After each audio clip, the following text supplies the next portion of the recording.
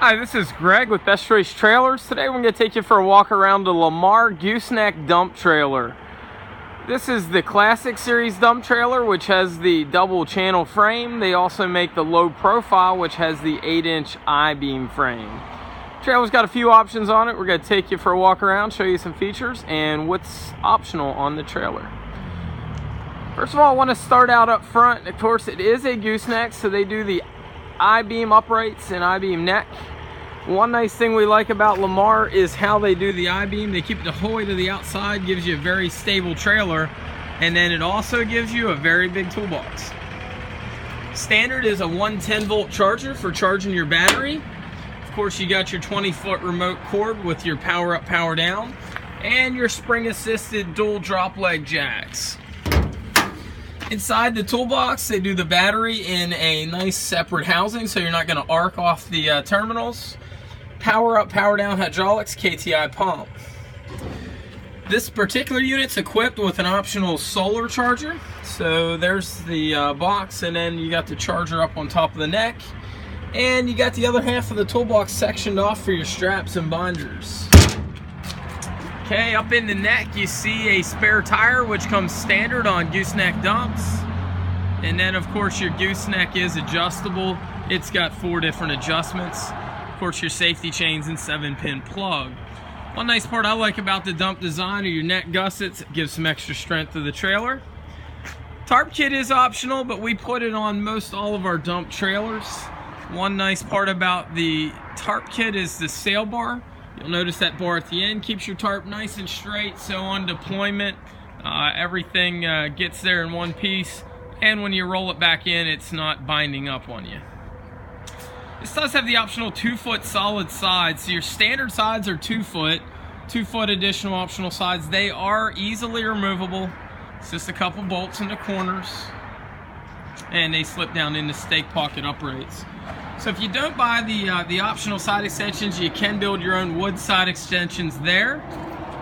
And then of course you got your vertical uprights for strength going down the sides. Now this particular unit's equipped with 8,000 pound axles, okay?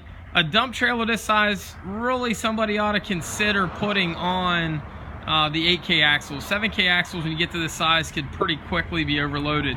A lot of people think, oh, 1,000 pound GVW, the running gear can't be that different. And the answer is they couldn't be more wrong. To the right, we've got a 7,000 pound brake assembly. And I just want to take a close up and show you how significantly different the running gear truly is. This is an 8,000 pound uh, brake assembly. So I just want to show you your pad thickness is about three times thicker. And of course you got a much more powerful magnet. And uh, just want to let you know as well, the 8K brake assembly is the same brake assembly that goes on a dual tandem.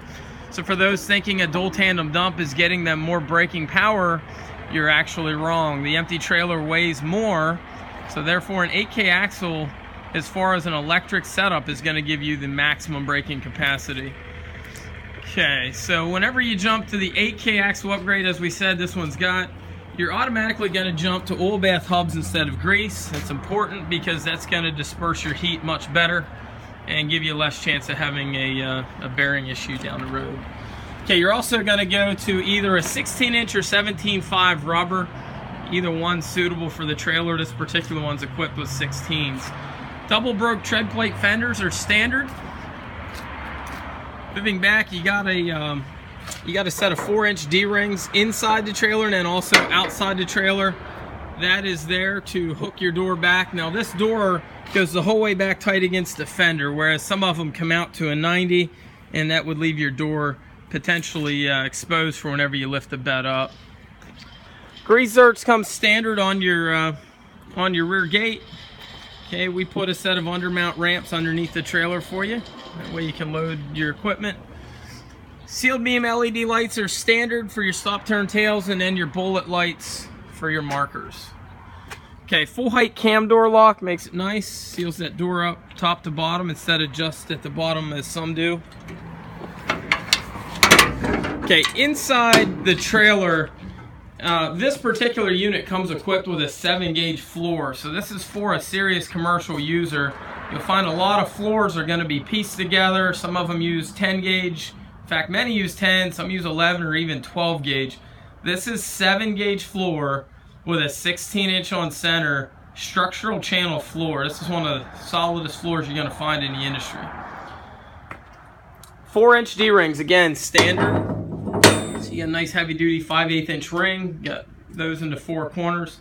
2 foot high sidewalls. Okay, whenever you go with your side extensions, you're going to have a bar at the back. It's going to tie your sides together. Okay, as far as your actual door, you've got tube around the corners, and then at the top you got a nice heavy duty rolled piece of formed. Gives you lots of strength. Okay, three-way gate on this particular trailer standard. So the gate can swing like a dump truck, it'll barn door open up, or you can lay it down like a pickup truck.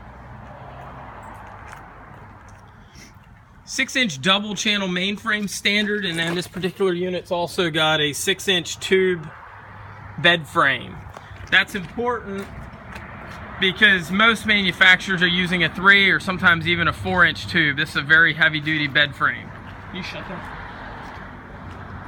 Okay, I'm gonna show you the underside of the trailer then before we finish to show you exactly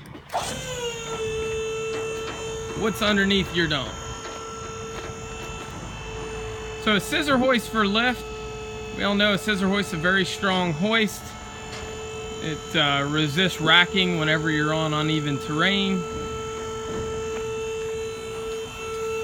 So here's your six inch double channel frame. Now double channel frame's a nice frame because with tube you always got a little bit of a chance under significant overloading that it uh, that it could twist on you because it's a double wall and getting two walls of steel to flex at the same rate. Channel uh, is nice in this application because when you take two pieces of channel and face together, you get a very thick, very solid frame, but yet the two pieces of channel are still independent of one another. Okay, you got your undermount ramps. Those ramps are about seven foot in length. Again, you've got your uh, three inch channel floor cross member 16 on center. And then you've got your scissor hoist.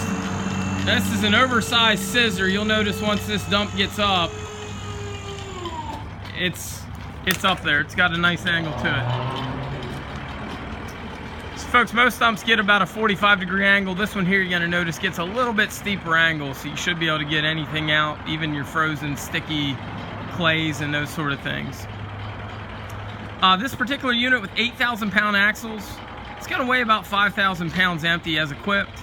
So that's gonna give you about 11,000 pound payload plus tongue weight tongue weight, you're gonna get another 3,000 to 3,500 pounds.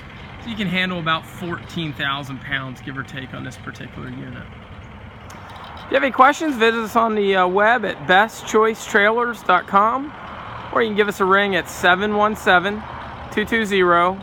717-220-4220. Thanks for looking.